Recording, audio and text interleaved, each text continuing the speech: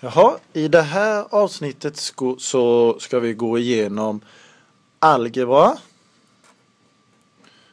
Jag ska försöka göra det så, så tydligt som möjligt så att du vet hur man räknar med variabler och uttryck. Och vad det här är för någonting. Det är du säkert jättenyfiken på. Och nu så ska jag göra det lite begripligt för dig. Först måste vi veta vad är en variabel? Vad är en variabel? Jo, det är någonting som varierar. Det är någonting som varierar är det. Alltså det är ett tal som värdet varieras på. En variabel är alltså ett tal som värdet varieras på. Eller ett tal vars värde kan förändras. Uttryck då, det uttryck som du kommer använda dig av här sen. Ett uttryck är flera sammansatta variabler och tal. Till exempel kan det vara 2a plus 3. Där har du ett a. Du har ju ingen aning om vad det där a är.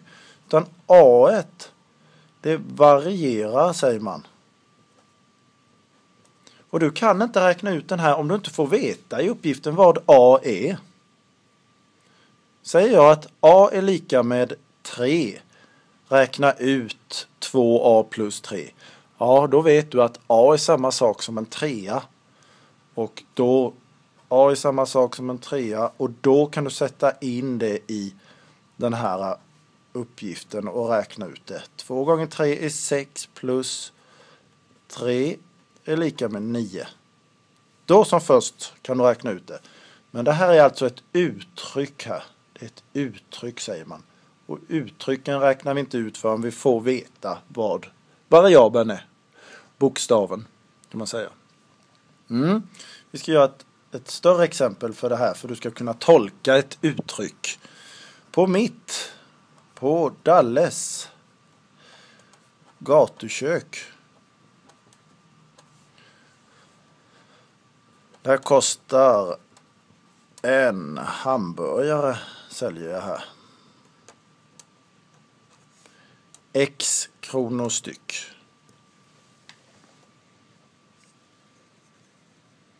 X kronor styck.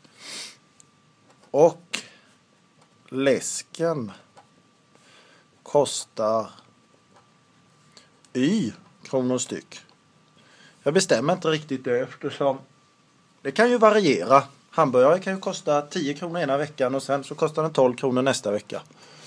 Och så får du ett uttryck av mig. Vad betyder uttrycket 3x plus 2y då? Vad betyder det här uttrycket 3x plus 2y? Du vet inte vad x är och du vet inte vad y är. Men vad står det där om du ska tolka det med uppgifterna? Jag är tyst fem sekunder och du funderar och sen så kommer vi säkert att komma fram till samma svar. Ja, där var fem sekunder. Du köper, ju, vad köper du? Jo, du köper tre stycken hamburgare. Hamburgare betecknas med X. Gör. Köper tre stycken hamburgare. Och hur många läsk? Jo, och två stycken läsk. Det är svaret. Så nu kan jag gå vidare och fråga dig. Vad betyder följande uttryck? De här kommer du stöta på sen när du börjar räkna i boken. A delat på 3 eller A dividerat med 3. Ja, vad betyder det? Jo, det är ju en tredjedel av A. A plus 2 då? Ja, det är 2 mer än A. Säg att jag är A min ålder som är 36 år. Och du är då två år äldre än mig här. Alltså A är 36 plus 2, då blir det ju 38. A minus 8 då. Ja, det är ju 8 mindre än A. Och slutligen 7A. Vad betyder det? Här står det ju egentligen ett osynligt gångertecken. Gör det ju alltid när, man, när det står så. Det är likadant här uppe. Här står egentligen 2 gånger A. 3 gånger X. 2 gånger Y.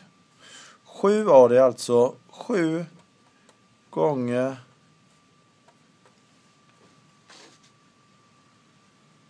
a. Det här var första delen i algebra.